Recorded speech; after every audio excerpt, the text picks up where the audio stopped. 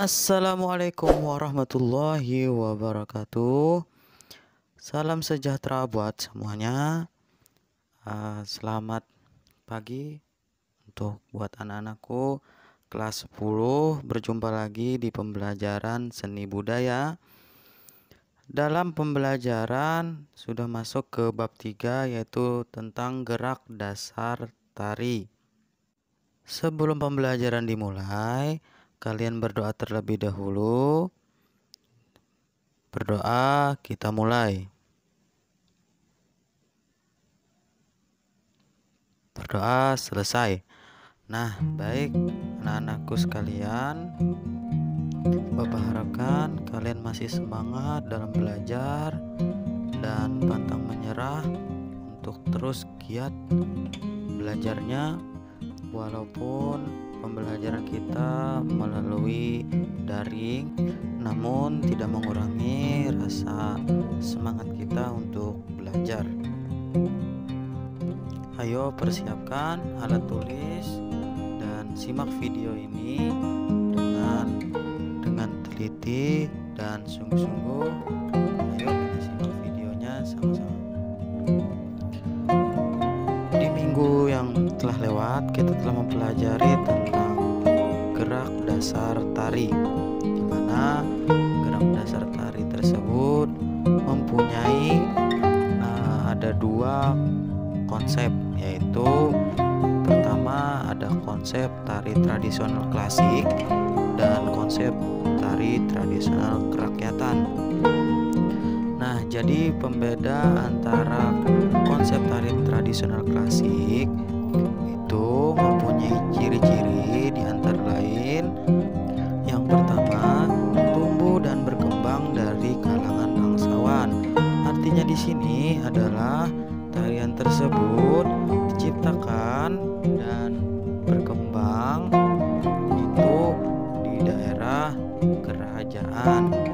Kemudian yang kedua, pola-pola gerak sudah ditentukan.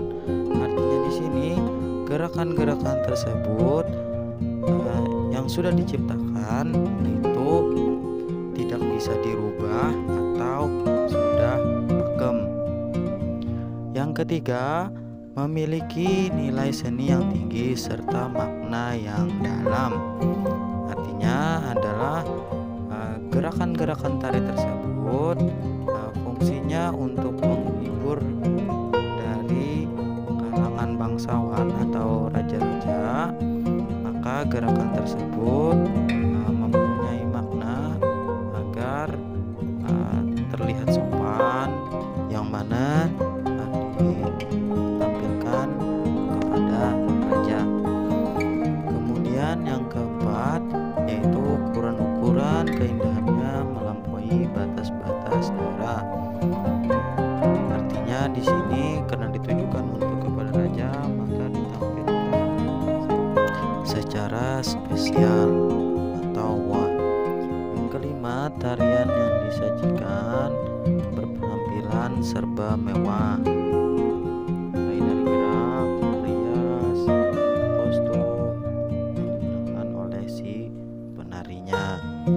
Kemudian yang kedua, konsep tari tradisional kerakyatan.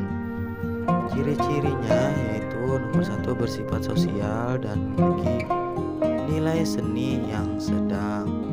Artinya di sini berhubungan dengan eh, kegiatan-kegiatan uh, sosial, misalnya kegiatan kerja bakti. Dan dari segi gerak itu uh, tidak terlalu mewah seperti tari tradisional klasik. Kemudian yang kedua, pola gerak sangat ditentukan dengan konteks sehingga tari rakyat biasanya memiliki tema tertentu.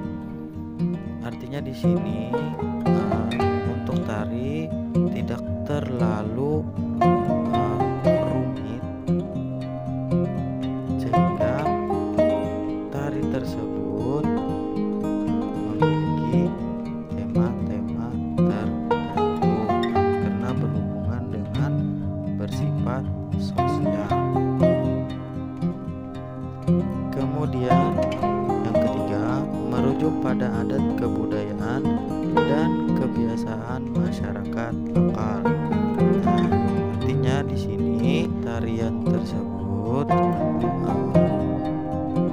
masih berhubungan dengan adanya istri.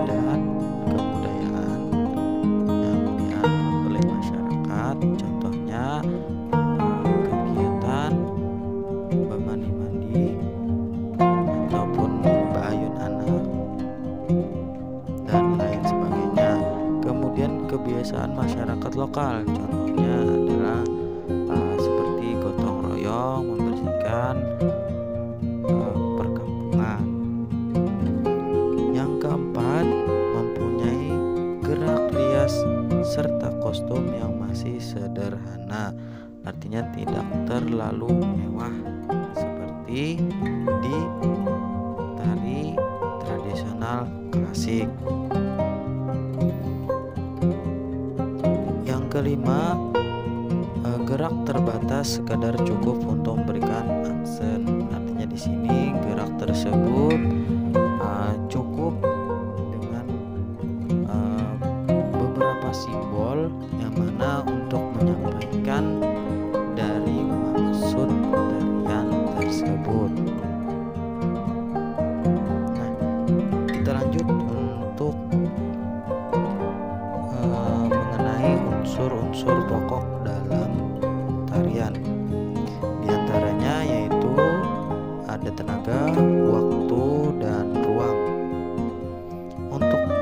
tenaga itu uh, eh, adalah energi atau kekuatan yang dikeluarkan oleh si penari. Baik itu keras lembut cepat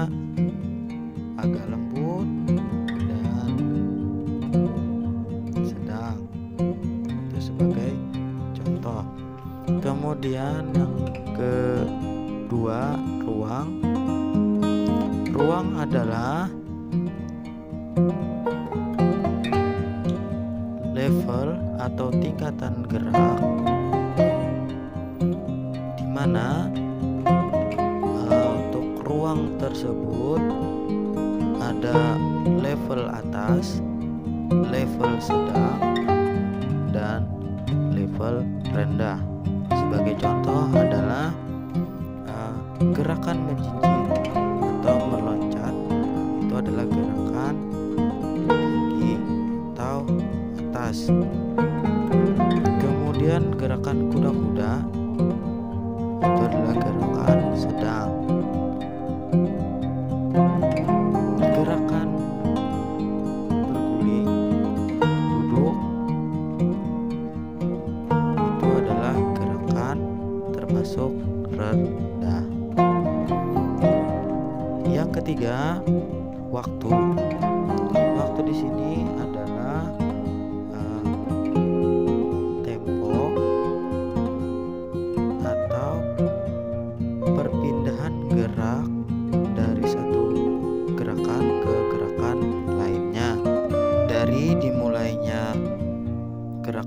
hal sampai berakhirnya tarian tersebut.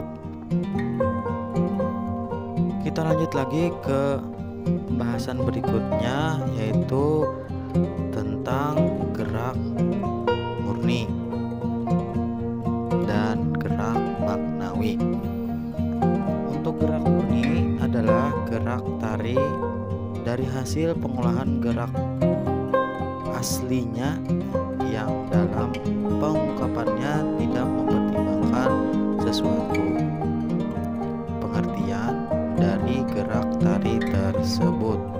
Artinya di sini adalah gerakan yang mana tidak mempunyai arti. Dan gerakan tersebut diciptakan dari hasil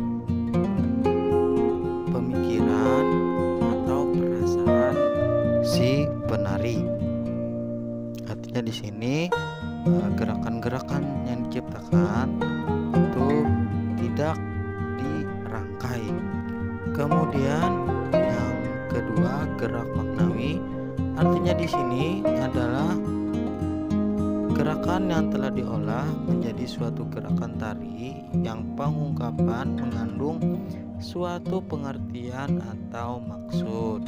Nah, gerak maknawi kebalikan dari gerak murni. Artinya di sini namanya maknawi adalah mempunyai makna dari gerakan-gerakan yang telah diciptakan.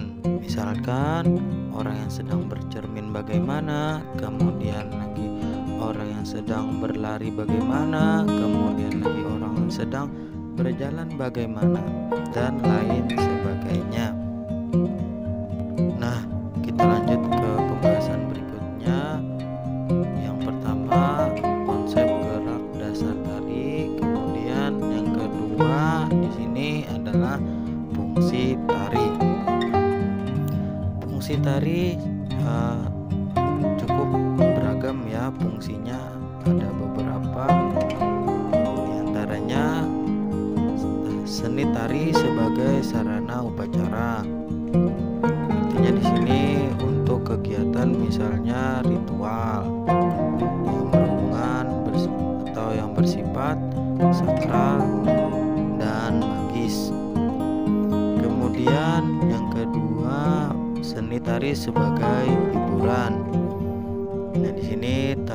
tarian-tarian misalkan uh, untuk kegiatan uh, pernikahan. Yang ketiga, seni tari sebagai penyaluran terapi. Misalkan uh, jenis tariannya uh, untuk ditujukan kepada orang yang cacat fisik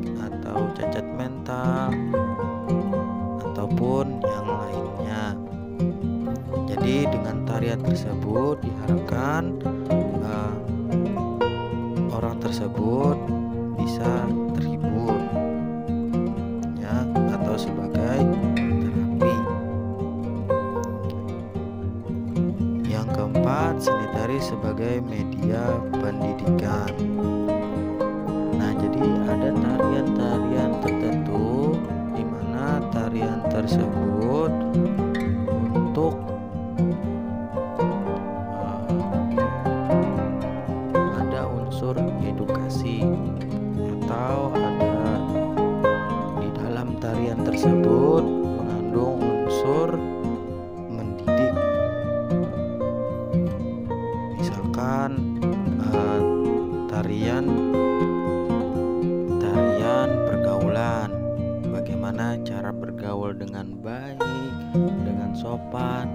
lain sebagainya.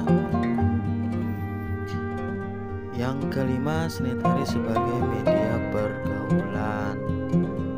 Nah dikarenakan tarian tersebut uh, melibatkan ada beberapa orang.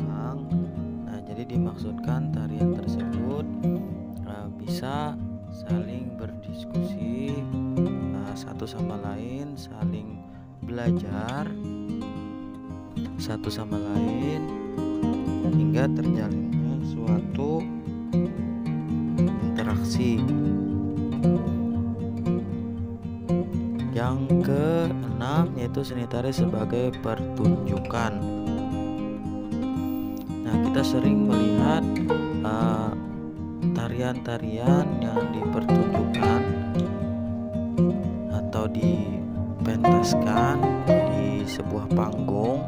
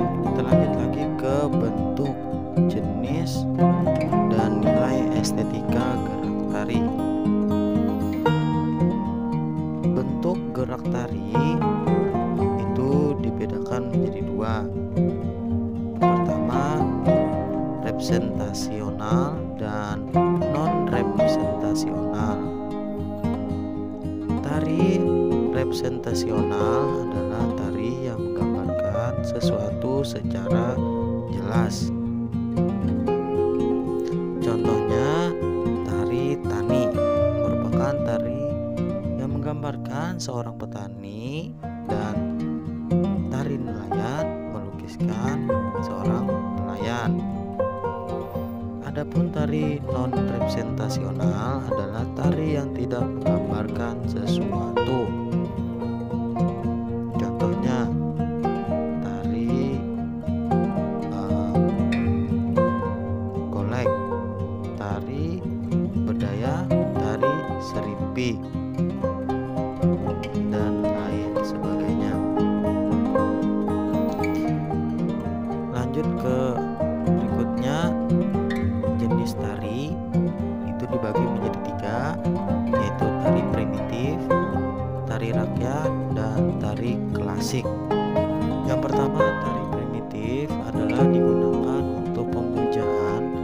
atau upacara ritual lainnya.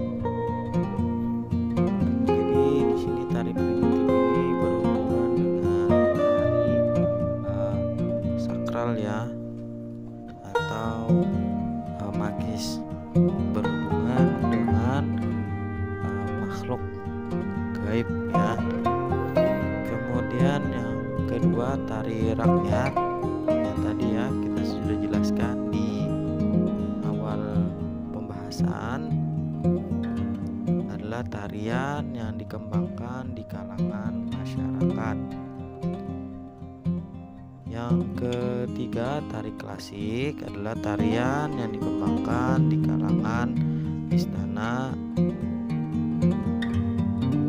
kerajaan. Lanjut ke nilai estetis dalam gerak tari.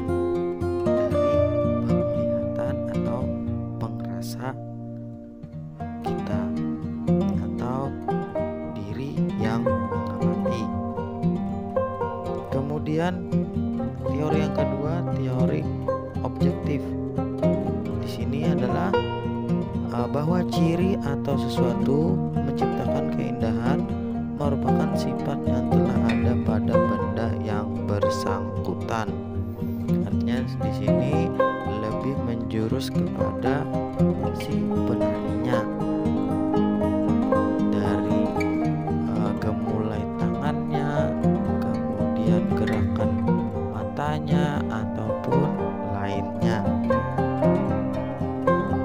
Nah, yang ketiga teori campuran.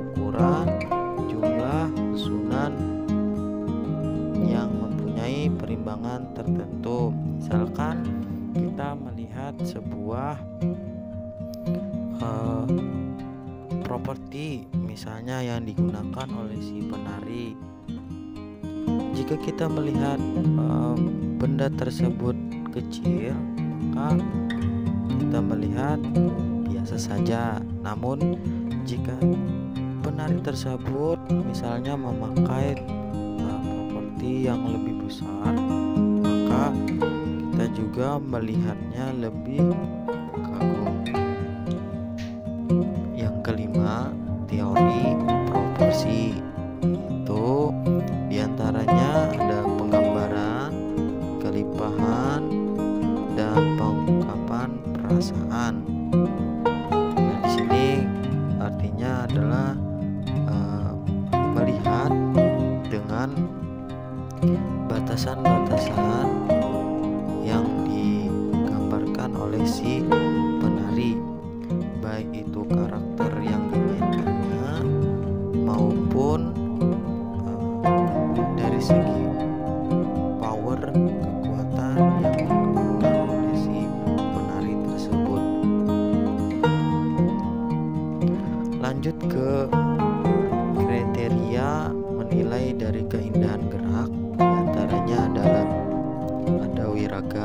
wirama, dan wirasa.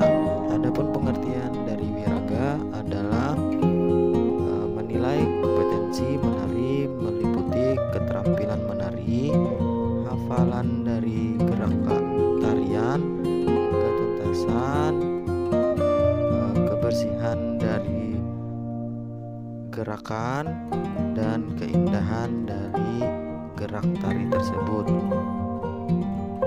Wirama adalah menilai kesesuaian atau keserasian gerak dengan irama atau iringan musik. Wirasa adalah keharmonisan antara wiraga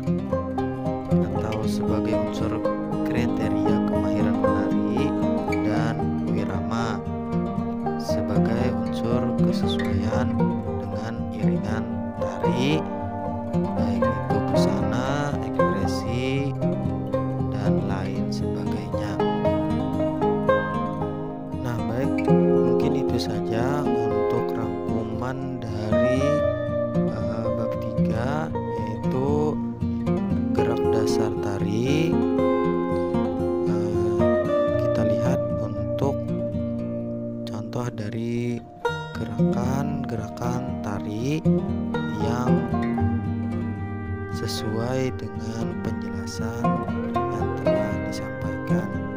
Tugas kalian adalah